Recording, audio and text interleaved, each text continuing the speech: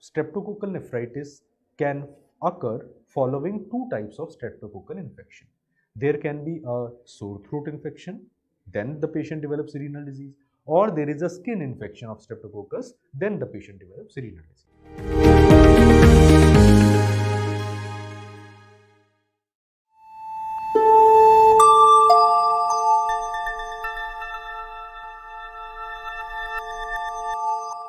Which of the following is true about acute PSGN post-streptococcal nephritis? We have four options here and uh, then they are asking about option A, B, C and D. So let us look at these options one by one. Option A, electron dense humps are seen on uh, glomerular basement membrane when you do electron microscopy which is a true statement.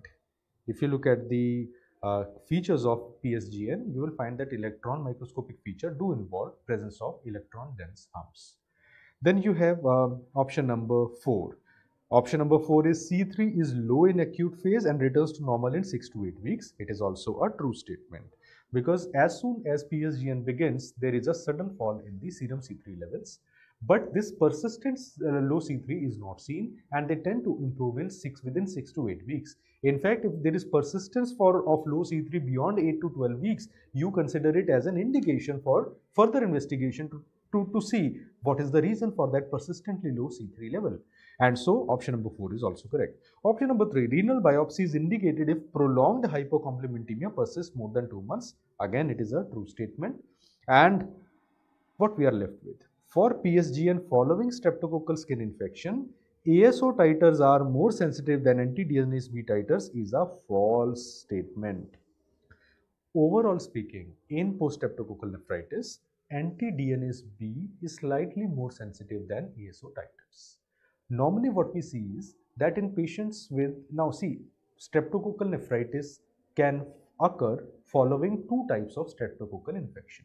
There can be a sore throat infection, then the patient develops renal disease, or there is a skin infection of streptococcus, then the patient develops renal disease.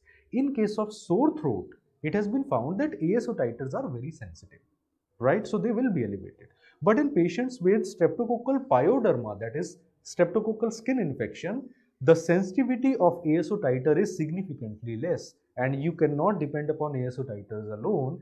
For evidence of a recent streptococcal infection, you need to do the titers of anti-DNase B in streptococcal pyoderma if it has preceded development of nephritis.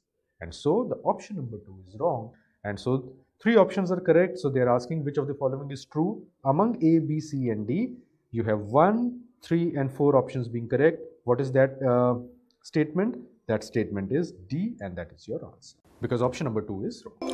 Subscribe and press the bell icon so you never miss an update from PrepLadder.